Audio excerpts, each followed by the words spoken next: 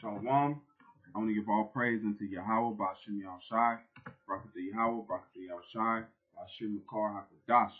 And we give double honors to our apostles and elders, which are the apostles elders that rule the great millstone, to you hopeful elect on the four corners of the planet Earth that's enduring the times that we in and keeping faith and, hold, and, and holding on to your crown to the very end, man. That's what we're hoping for. And, and, and are we allowed to do that, man. Um, right now, this lesson came to my mind at work. I was going to do a quick uh, lesson on it, but uh, this, the, the spirit really just had it to where I, I, I mean, I started researching and it started to get more than just a quick sit down that, you know, I could just put together real quick, you know, just to bring out words and certain things. But as you see the title of the video, that we are spiritual musketeers, man. All right, and I say that from the um, it's the so-called story of the three musketeers. All right, and I said that with the musketeers because they're saying, all right, because I was speaking to a brother and uh, we got into a conversation and it just popped out, you know, because this truth, we are we are one for all and all for one. Because what are we doing? We're pushing towards one goal. What is that? The kingdom. That's why we're on the same mind. It's like we says we have the mind of Yahweh Shai. We have the mind of Yahweh Shai in this truth, man. All right? But uh, like I said, we are spiritual musketeers. So the first thing I'm going to go into, I'm going to go into the word musketeer, all right? And it says musketeer. It says a musketeer, French, mousquetaire, was a type of soldier and are we not soldiers in this in this thing? You know, I'm I'm gonna pull the scripture real quick.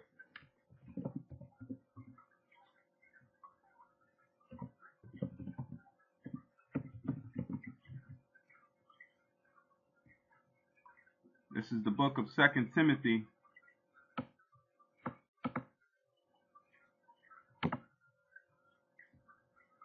Uh, let me pull it right here. It's Second Timothy 2 and 3. Let me pull it up here.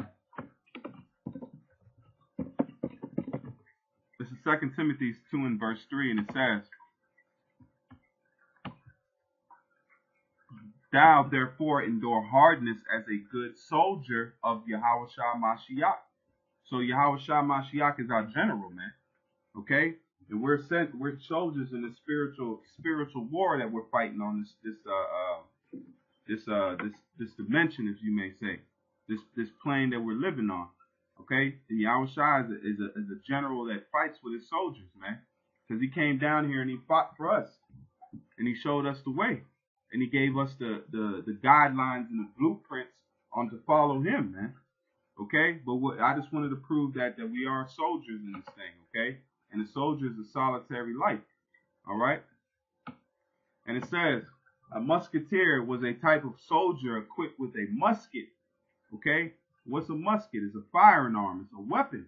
Okay? Let's look into that word musket. It says musket is a muzzle loaded smooth bore long gun that appeared in the early 16th century Europe at first as a heavy variant of the arquebus capable of penetrating heavy armor. All right, what what is our musket? Is these scriptures? Because that this this Bible is known as what? A sword. It's a weapon, man. Just like the guy said in the book of Eli, he said it's a weapon. It's a weapon. That's that's that's our that's our musket, man. Okay, that's our musket. That is it, it cuts to the to the bone, man. Just like that, the muskets go through armor. These scriptures and these words cut to the dividing of soul, man. Okay? Let's get that. Let's put it. You know, prove all things, man. It should be a beauty to go into these scriptures.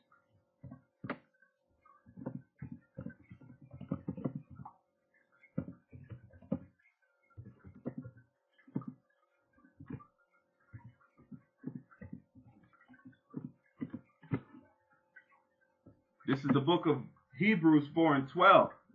And it says, For the word of Yahweh is quick and powerful and sharper than any two edged sword, piercing even to the dividing asunder of soul and spirit, and of the joint and marrows, and is the discerner of thoughts and intents of the heart of the law. So this word that we using, because where is the words of Yahweh Shemal Shah in the Bible? So this is our musket. This is our weapon. Okay? And it says a musket um, equipped with a musket. All right? Musketeers were an important part of early modern armies, just like we're important now, man. But we're the spiritual musketeers of Yahweh Shem Shai, man. I just wanted to prove what a musketeer is and what so we can get understanding where that name comes from. Okay, you see here the picture of this Edomite looking guy with a, a musket in his hand and, and, and a dome and a, and apparel of a soldier, man. But the main thing that I look for in the musketeer title is all all for one and one for all. One for all and all for one. All right, let's learn where this phrase came from.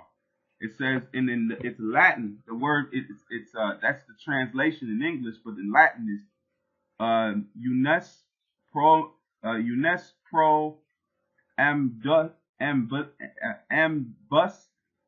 anumis pro uno. So Salaki, I'm not I'm not key in Latin, you know, but you know I try my best, you know, as much as the Spirit gives me. It says unes pro ambus unes pro uno.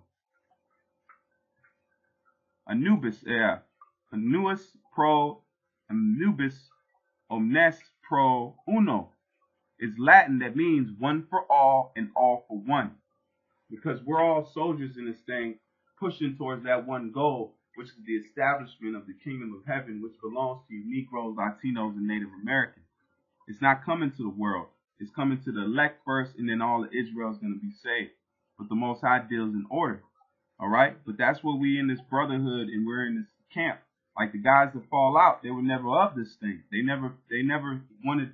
They didn't. They faltered under the uh, pressure because they say I seen a video where it says a guy who was a prepper, right? He was a real heavy prepper and he got into prepping real bad. But then uh, uh, uh, a situation happened where they firebombed this building and the guy froze with the prepper backpack in his hand. He had the backpack, which is the bug out bag, but he curled up in a fetus position while his wife is crying, and he couldn't move because he was he was struck with fear in that moment. It's not matter in the time of prepping; it's the time of execution, man. The Lord's got to give you the spirit to execute in that time. That's what we hope and we we yearn for because what's that time? We're prepping now, man. We're spiritually prepping. That's why it says wisdom and knowledge shall be the stability of thy time. So we're we're we're we're spiritually prepping. But when the time comes when we need to execute what we've learned in the spirit, the most high got to give you that spirit to to to follow through. That's why it says nothing is given but by the most high. So it don't matter how many scriptures you memorize, how many things you do, if the spirit ain't with you in that time, man, you free, you're gonna lock up. In the time of Jacob's trouble, you're gonna lock up, man. You're gonna get weak, you're gonna falter, you're gonna go after that mark, man.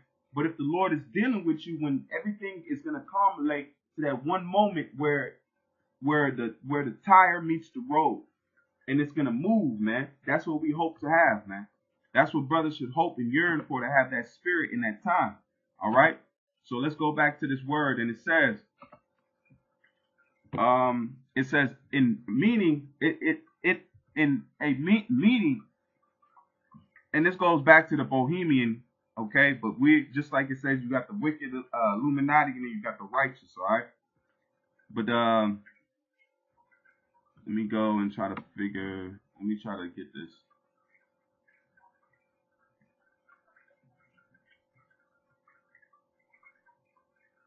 Let me read this, and it says Switzerland had no official motto de, uh, defined in its constitution or legislative documents. The phrase in its German in Ra al I can't pronounce that, Slovakia, French, un pro tras tos pro un, Italian, I can't, I'm gonna butcher that. It says variant versions came into uh, widespread use in the 19th century after Ottoman storms had caused widespread floods.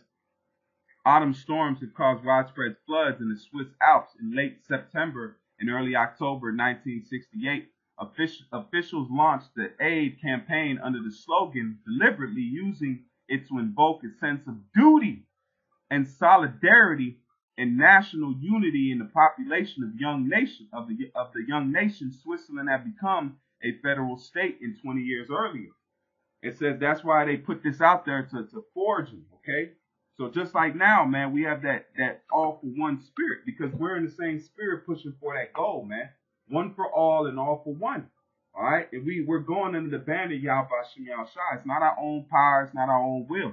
All right, but we're just being uh, uh, drafted, spiritually drafted into the Lord's army, man, because we have no choice. We have no choice. If your spirit was made to do the work, that's what you're gonna do. You know, the the what does it say? The axe can't boast itself against him that hewn therewith. So you don't have a choice in this thing, man. The Most High gonna use you, just like with Noah. Noah wanted to dip off, man. Noah wanted to go do his own thing, but the Lord said, "Nah, I I, I made you to do this this job. So the Lord will put hell on you to make you do that job and to accomplish the feat.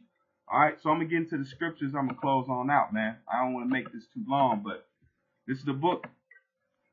Let me get these precepts. This is First Peter, and I'm just gonna, you know, go through these these uh precepts real quick because the point is there. I just wanted to, you know, it's a saying that came to my mind and it stuck, man. You know, it really stuck. I was thinking about it all night at work. This is uh First Peter two and seventeen. It says, honor all men, love the brotherhood, fear Yahweh, honor the king. And what's the king? That's Yahweh Shai. Then you have King David, then you have the 12 under that.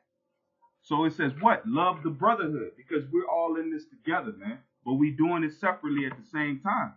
All right? We walking it with simultaneously, but we also walking it solo. This is Philippians 2 and verse 2. And it says, Fulfill ye my joy, that ye be like-minded, having the same love, being on, on being of one accord, of one mind. Let nothing be done through strife or vain glory, but in loneliness of mind, let each esteem others better than themselves, man. Because this ain't all about self. Okay? This is all about the, the truth sake and getting the word out of Yahweh Shem Shai so the elect can be sealed. That's what we're yearning for, and we're pushing for that goal. Because when the elected seal and the, and the Lord has has has uh, met that quota, and the words have come to pass, this thing is done. Esau's done, and here comes the kingdom. There ain't gonna be no more hesitation and, and waiting. The Most High wants to establish the kingdom of heaven. You don't think He wants that that that glory on the planet Earth? That's coming, man. Yahweh Shah wants his full inheritance. This is Ecclesiastes 4 and 10. It says, For if they fall, the one will lift up his fellow. But woe to him that is alone when he falleth, for he have not another to help him up. That's why the Lord set up this brotherhood, man. So we can help each other and keep each other in the times of hardship. Okay? It says again, if two lie if two lie together, then they have heat. But how can one be warm alone? All right. So this thing is set up to be more than just one, because the hey, the demons can just attack you, man. So you might need a brother, or, or, or you might need a help to help. You might need more than one brother, man. A collective brotherhood to help you push through that hard times, man. Because we all we we don't have the the, the strength of Job. We hope and pray, but hey, man, the, the the Job had a heavy spirit on him. So we have to we have to have helps in this thing, man, through the spirit. All right, and this is a uh, book of First John, four and twenty. This is First John four and verse twenty, and it says, "If I say love, if it says, if a man say I love Yahweh and hateth his brother, he is a liar. For he that loveth not his brother whom he hath seen, how can he love Yahweh whom he has not seen?" And that's simple as that, man. That's why we're we're we're being set up in this brotherhood to show love to another. Because look, we ain't seen Yahweh, but we believed upon him. So how much more, you know, you see your brother in hard times, you help him out, man. Because it's a brotherhood. We're the spiritual musketeers, man. And as the title of the video, man, hey, one for all and all for one, man. So I want to give all praise unto Yahweh Bashim Shai, Barak Yahweh, Barak Yahweh Shai, Bashim Rakar Hakodash, man. Shalom, Akim, stay strong.